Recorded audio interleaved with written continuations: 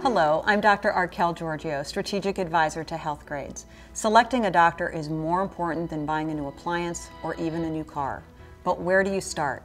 I've got some tips to help you. I call them the five P's. First, professional. Consider a doctor's credentials. Look for a doctor that's board certified. Here's why. All doctors graduate with an MD after their name and have a license to practice, but board certification is the only way to be sure a doctor is competent in their specialty. Second, practice. Make sure a doctor's specialty focus meets your needs. Here's what I mean.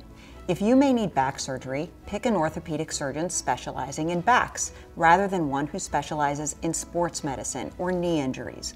If you're a woman having issues with hot flashes, find a gynecologist with a special interest in treating menopause versus one whose practice focuses on delivering babies. Third, procedures. Find out how much experience your doctor has in performing specific procedures. Here's why this is important. The volume of procedures a doctor has done is correlated with their results. Studies show that cardiac surgeons with the best outcomes should do at least 100 to 125 procedures a year to remain competent. When you're selecting a gastroenterologist, would you rather have a colonoscopy done by someone who does 50 a year or 500 a year?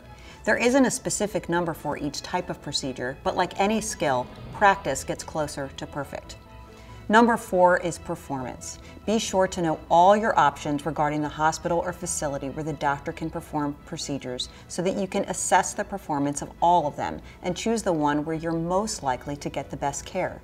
Physicians typically do procedures at more than one hospital, and not all of them perform equally. So it's important to check on the hospital's track record because it's the skill of the doctor and the coordination of the care in the hospital that influences the outcome of your hospital stay. And finally, number five is personal. Look at statistics regarding other patients' relationship and experience with a doctor, how well they communicate and explain treatment options. It's also important to consider how the office staff interacts with patients and how easy it is to get an appointment. Even with a finite list of in network hospitals and doctors covered by insurance, there's always choice. Arm yourself with information. Check out healthgrades.com for specifics on doctors in your area and know before you go.